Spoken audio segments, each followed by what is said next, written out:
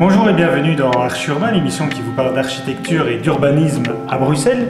Aujourd'hui, j'ai rendez-vous avec un bureau d'architecture qui s'appelle Arcane. Alors, c'est un nouveau bureau d'architecture qui est composé principalement de deux personnes, euh, Grégory Haye et Christine Duchamp. Nous sommes ici, place Jourdan. Euh, vous savez où on fait des célèbres frites, mais on ne va pas parler de frites. Aujourd'hui, on va parler d'autre chose. Bonjour Grégory. Bonjour Emma. Ça va bien? Ça va bien. Nous sommes ici, place Jourdan. Euh, un quartier quoi Un peu difficile depuis la- l'arrivée du quartier européen, tu crois? Euh, non, pas difficile. La place a réussi à maintenir son âme, euh, son âme étorbécoise, je vais dire, même si elle, elle subit beaucoup de pression euh, du quartier, euh, du quartier européen. Alors justement, ici, ton client t'a demandé de, de rénover une, une habitation. Oui. Euh, il a voulu absolument mettre des logements au-dessus de, de son commerce. Et il a raison.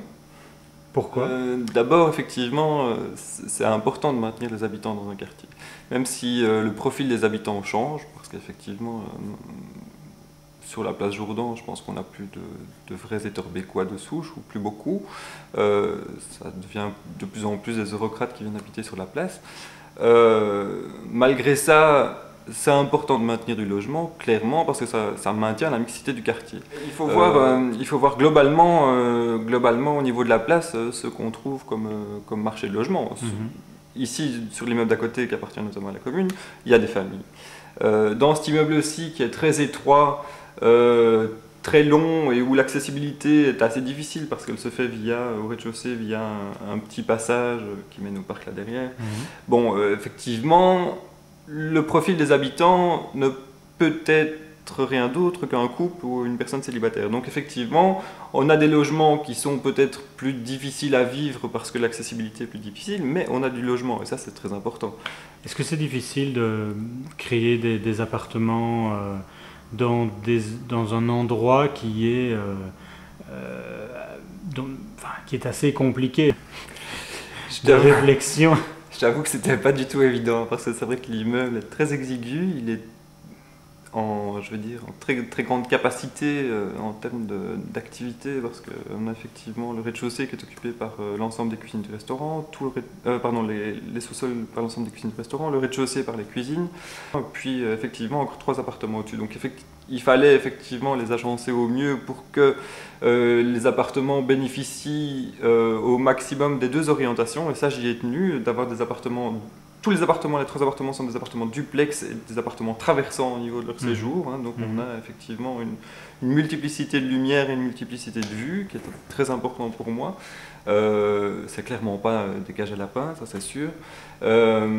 La commune nous a appuyé dans ce sens ici de pouvoir effectivement redonner une fonction à ce bâtiment parce qu'il faut savoir que ce bâtiment était à l'abandon depuis une quinzaine d'années. Mhm.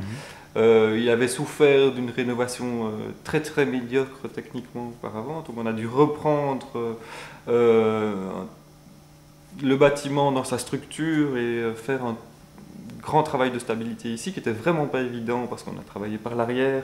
Donc ça aussi c'est- c'était un challenge. La place Jourdan étant en activité avec le, re- le restaurant qui fonctionne en bas, C'est une réflexion par rapport à, tout le centre-ville ou au-dessus des, commerces. Il n'y a, pas- il y a, a aucun logement, tout est vide et donc on pourrait effectivement euh, très bien euh, mettre des, logements euh, au-dessus des, des- des commerces euh, du centre-ville par exemple. Voilà, mais ça c'est vraiment une grosse, grosse, grosse problématique qu'on trouve dans pas mal de rues commerciales de Bruxelles, euh, que ce soit la rue des Tongres par exemple, si on prend le cas d'Etterbeek, euh, on prend effectivement le cas de la rue Neuve, ça c'est, clair. Euh, c'est l'accessibilité aux étages les, les gens qui, qui exploitent le rez-de-chaussée ont assez, voire aucun cas de ce qui se passe aux étages. Euh, de manière à prendre le plus de surface possible au rez-de-chaussée et à optimiser effectivement leur surface commerciale. Et de ce fait-là, on n'a pas du tout d'accès aux étages et donc on n'a aucune possibilité de faire quoi que ce soit comme fonction. Et donc ça, c'est une réelle problématique. Il faut retrouver une circulation même extérieure via les intérieurs d'îlots pour redonner de l'accès aux étages et refaire vivre ces étages euh, en logement certainement. Est-ce que tu as travaillé sur, euh, sur la façade lors de la rénovation de, de- de cette habitation? Oui, il y a une grosse, réf- une grosse réflexion sur la façade, effectivement. Avant, ici, euh, bah, on avait des châssis en PVC blanc avec une briquette de façade assez immonde. Je déteste ça? Je déteste ça. Donc, euh, les, fenêtres sont en bois? Les fenêtres sont en bois, très clairement. Euh, les châssis en bois et les fenêtres sont en verre. Et la, façade, la façade ici est enduite. je ne sais pas du tout à l'origine ce qu'était euh, la façade, si elle était en brique ou si elle était enduite, mais en tout cas ici euh, le fait d'être enduite permet de, de, de, redimensionner, si tu veux, la, la maison en tant que maison mitoyenne bruxelloise. C'est important, de, c'est très important de, garder l'esprit euh, de la maison bruxelloise, non pas, les, non pas dans, un, dans, une, dans un objectif passéiste, mais je pense que les éléments qu'on garde, on doit, les garder, on doit bien les garder et on, doit bien les rénover. Donc euh, il faut faire prendre conscience aux gens, il faut faire prendre conscience au pouvoir public que quand on change un châssis en façade avant, c'est une intervention urbaine et c'est important. Euh, et les châssis PVC, il n'y a rien à faire, tue les façades bruxelloises. Parce qu'on a moins de, de modèles nature dans les, dans les châssis, on a des plus gros profils, euh, c'est du plastique.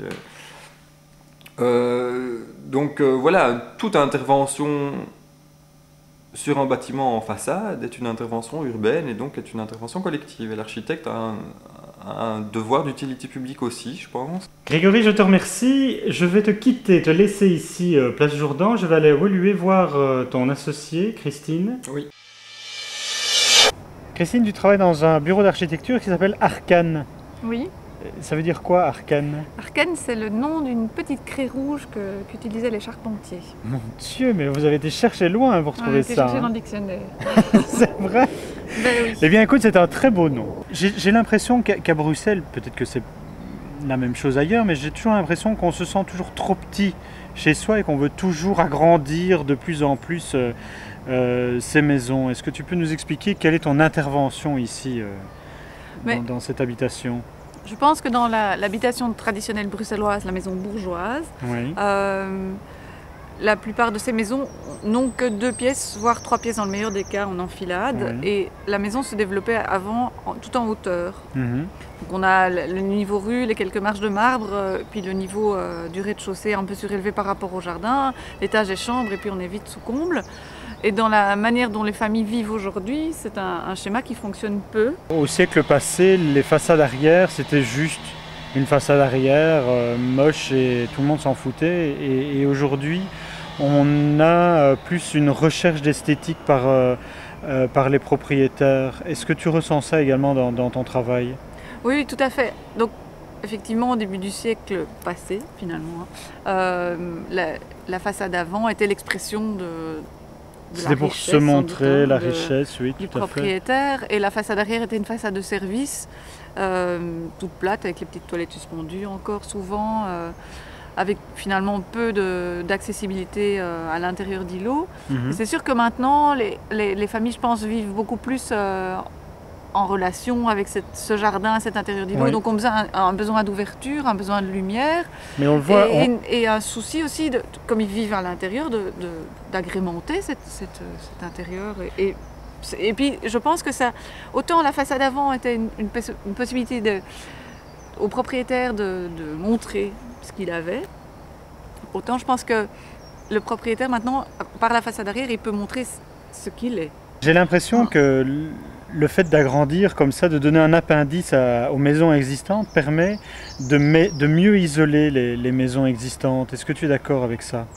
Oui, tout à fait, parce qu'on reconstruit des, nouvelles parois extérieures, des, nouvelles surfaces de déperdition, et ces surfaces-là, on les construit avec, les, normes actuelles. Voilà, mhm. tout à fait. J'ai l'impression également que les demandes de propriétaires pour agrandir euh, une maison existante viennent non pas de nouveaux propriétaires, mais plutôt de personnes qui habitent déjà dans euh, la maison et qui donc veulent faire évoluer leur habitation par rapport à l'évolution de leurs revenus, mais également de l'agrandissement de la famille, etc. Est-ce que tu ressens ça dans, dans, ton travail et dans tes demandes? Oui, effectivement. Donc les, euh, la plupart des clients pour ce, type de projet, ce sont des personnes qui ont acheté la maison, qui ont vécu dans la maison pendant plusieurs années, la famille s'agrandit ou, simplement après quelques années que, que l'envie, en fonction des, capacités économiques du client évidemment, l'envie d'agrandir se fait sentir.